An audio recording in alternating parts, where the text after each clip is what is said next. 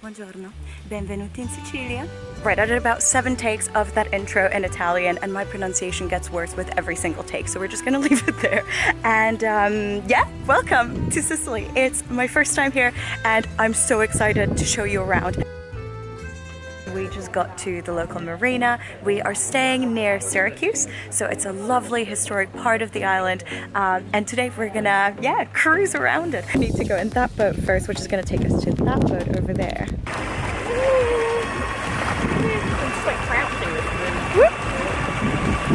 Look at this. As a first introduction to Sicily, the boat tour organized by CV Villas, who we were staying with, was perfect. Not only did we get to admire the island from a new perspective, we also got pretty well acquainted with some of Sicily's best dishes. There was some local white wine, sun-dried tomatoes, black olives, and cow's cheese. My personal favorite, the caponata. It's so good, I know. Aubergine parmigiana, and gambero rosso red prawns. If you'd like to learn more about Sicilian cuisine, you can check out this post on my Instagram where I talk about five of the best Hello, hello. Just got back from the boat, which can only mean one thing. It means I'm absolutely exhausted. no, obviously I don't mean that, but sometimes doing nothing, especially when you're in a hot country, can be quite tiring. And um, in order to relax, because that obviously is exactly what I need right now, um, we're gonna go to hammam, which is actually inside the villa. So I'm gonna have some hot tea, um, get in the steam room, and just just chillax. Um, but before I do that, I need to introduce you to someone. This is my new best friend. No, where are you going? I just said we're friends. That's embarrassing. Traitor never mind, my best friend hates me. All the more reason to go have a little sit down and um, think about my choices.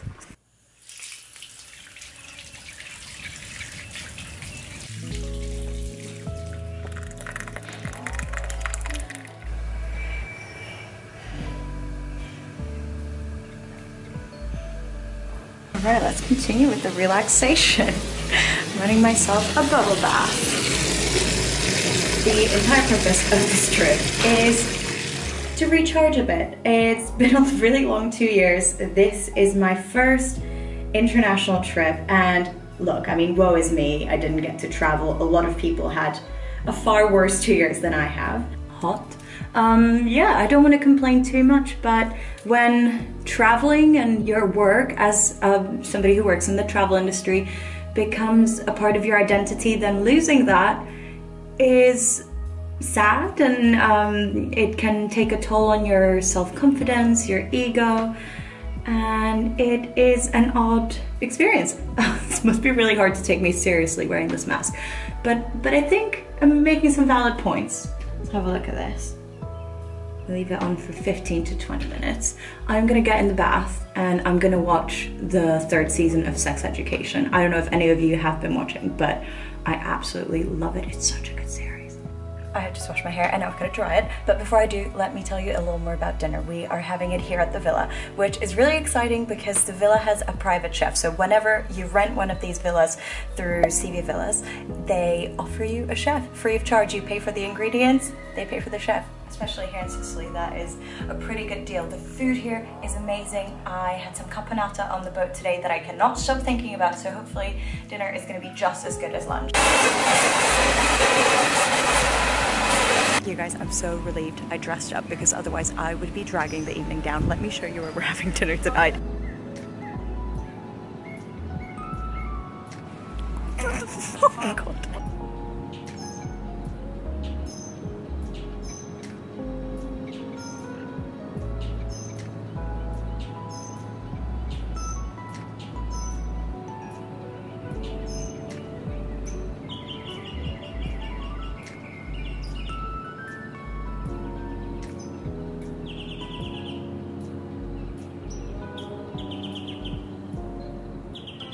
Morning. We are going on a little school trip today. We're going to, hello, cool kids in the back. We're going to um, Syracuse.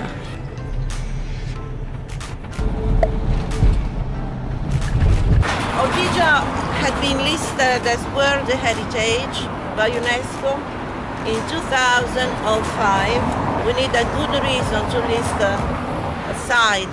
And the reason here was that since the first uh, human settlement on the island, which dates back to the Bronze Age, I mean 21st century BC to now, Ortigia was never ever abandoned.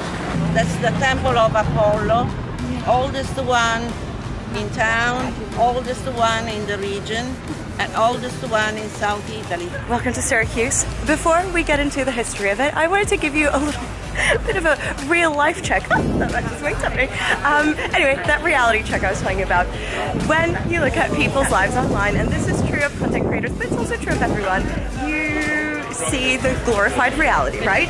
Um, well, here is the actual reality. I got ill. I got I got a cold about two days ago, and this entire trip, I pose for pictures, and then I have to blow my nose for about like 13 minutes. Um, I'm just full of snot. I'm absolutely disgusting, but that is obviously not what you're going to see online, is it? Um, so yeah, just um, a little reality check about.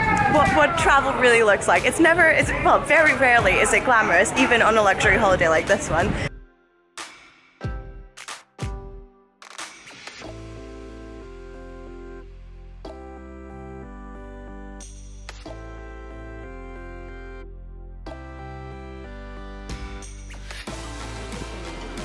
This street is where I shot this picture. I think that means Road of the Crucifix because there's a church behind it. Yeah, But I could be wrong. On with that. Yeah. Tell me how clever I am. Yeah, really clever. Finally stopped sniffling. It is a glorious feeling. And I think it's Syracuse healing me, to be honest. This place is absolutely gorgeous. This is Lauren, by the way. I've probably introduced her already, but just in case. Um, this is her handle. And um, yeah, I'm absolutely loving it. There's so much history. It's such a multicultural place. We just came from the Jewish quarter, which used to have a substantial Jewish population back in the 15th century. Um, now there are no more Jewish citizens there, but a lot of people from abroad come to admire the synagogue, the architecture, and I mean, for good reason. Let me flip the camera. I know this is a stupid stereotype, but there is a huge, huge Sicilian wedding to my left, and I do feel a tiny bit like I'm um, in The Godfather, which uh, was actually filmed in Sicily. Not exactly in the places that we're visiting, but near enough, near enough. Look at this! It's so good.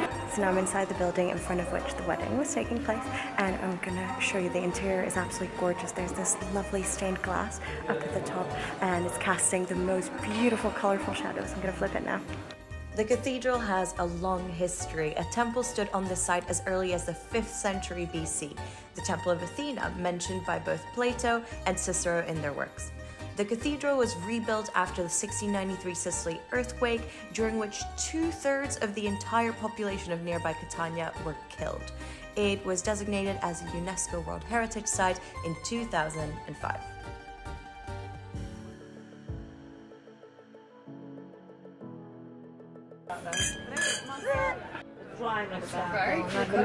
Yeah. This is it. I'm just repeating what I'm hearing. This is a dry Moscato wine and it is great. It looks like apple juice. That's my expert opinion.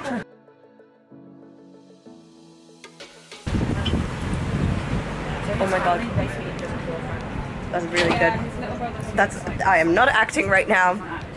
This is fantastic.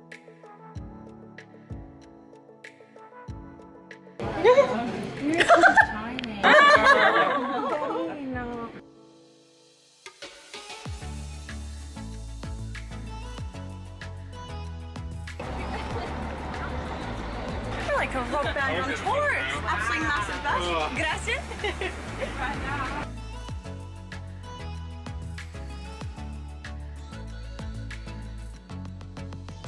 Hello, I have just done a full outfit change because I am what is commonly known as an absolute loser. So I am ready for more Insta pics, but sorry that was really loud in the background, but hopefully you can hear me.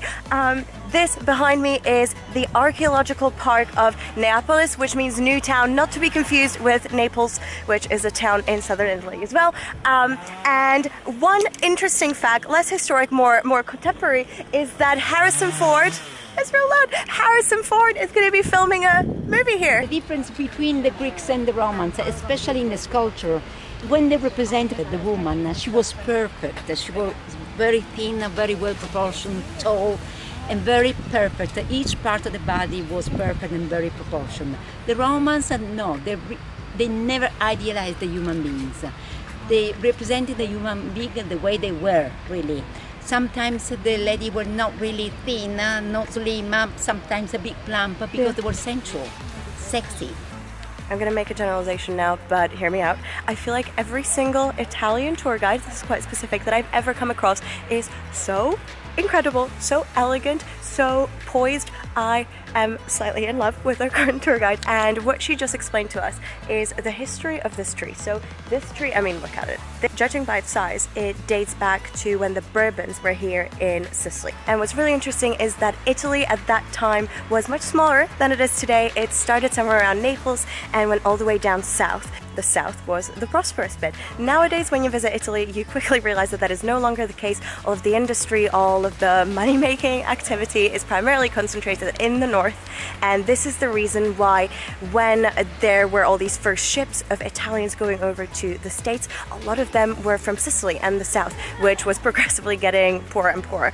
And we had a recommendation for a film from our tour guide. I always tell my guests to see that movie, A Legend of the 1900. That's a movie about the first ship going to New York. Because Syracuse was part of the ancient Roman Empire, it has a pretty wild and long history, and we got to see some part of it today. Number one is Archimedes' tomb. Archimedes wasn't actually buried in there, which was discovered fairly recently, but it's still an interesting historical site. And number two, we saw the spot where Prometheus apparently had, and this is a bit graphic, had his liver chomped out by an eagle. According to ancient lore, he is the one who gave fire to humans, and the other gods weren't too pleased with it because it made us a little too powerful, and so they decided to punish him. And the punishment, as I mentioned earlier, was chaining him to a rock, which was here in Syracuse. And um, I don't know why I'm smiling so much because it's very gruesome. Having an eagle eat his liver every single day and then have the liver grow back so he could be punished all over the next day.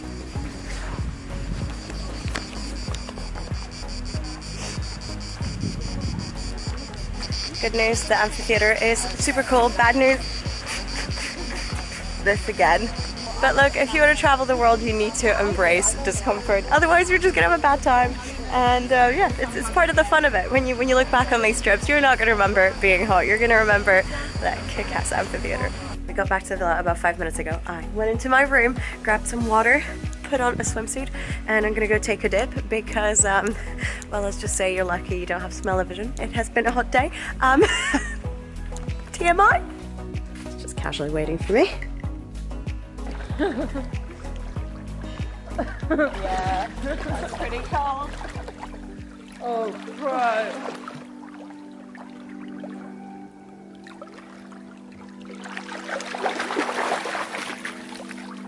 Okay, yoga starts in 10 minutes, so I need to go change. It's just so tough. It's just so incredibly tough. Oh, look at the sky.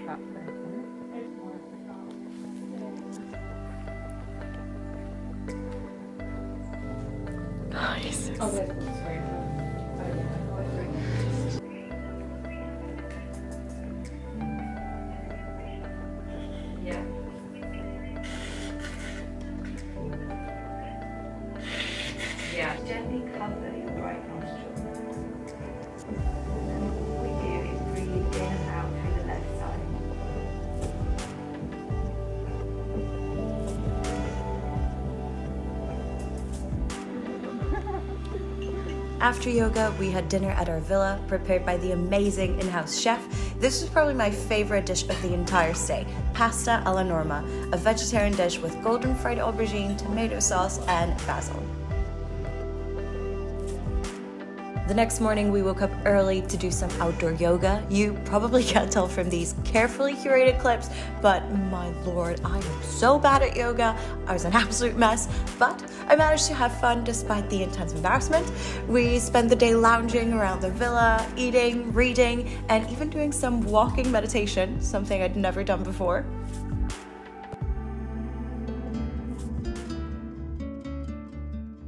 The idea is to make tonight some uh, homemade pasta. The Phoenicians before then Greeks, Romans, Normans, Arabs, Spanish, French. All these people, Arab, Roman, Greek, they left many incredible things, monuments. Oh! Our menu for the day started with cavatelli, small pasta shells served with fried courgettes and artichokes. The chef taught us how to clean and trim artichokes before starting on the pasta. You have there 250 grams of semolina flour and 125 grams of water. This much.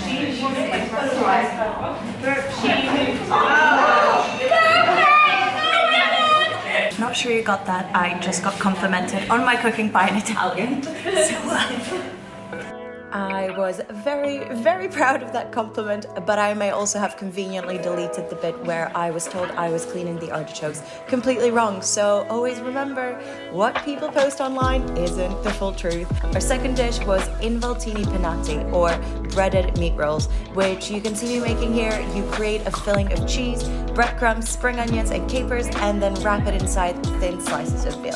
It's absolutely delicious. Gonna use super cool. It's called This is, it is uh, ricotta cured. Some salt.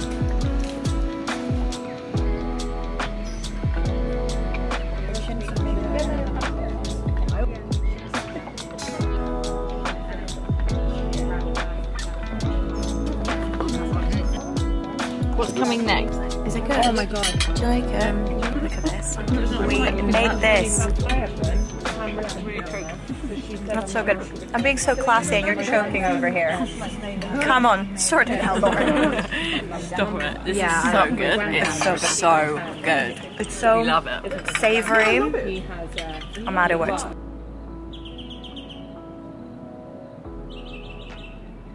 Got back from dinner, which was fantastic, but also a bit sad because we are leaving tomorrow. And I've really, really enjoyed this trip. I've enjoyed everyone I've met, and uh, I have also enjoyed being here and not having to pack because that's what I'm gonna do now. But look, at my nose. Oh, all of this needs to go in here, so we're gonna make that happen now. When you're packing, always roll your clothes. It takes up way less space. And also, if you can, use packing cubes. And really, there's no reason why you couldn't. So just use them. They are amazing. These I wanted to link below because they are compression packing cubes, which means they take up even less space than regular ones. Hello, it is our final morning. And as you can see, the weather has turned a bit. It's a bit damp. It was stormy all night. But maybe that's gonna make leaving a tiny bit easier.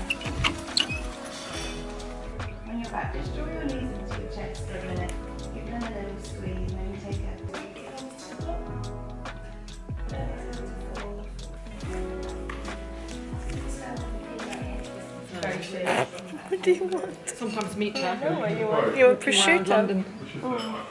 Well, no, you're not. You miss this. Okay, it's time to leave. I'll show you one final spin of the room.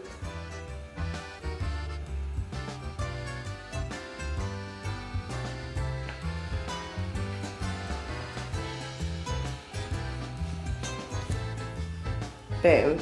Thank you, room. Number 10. A quick thank you to CV Villas for hosting us on this trip. They have villas all over the world, including Greece, Italy, Morocco, Sri Lanka, and the Caribbean. Thank you for watching. I bring out new videos every Friday. See you then.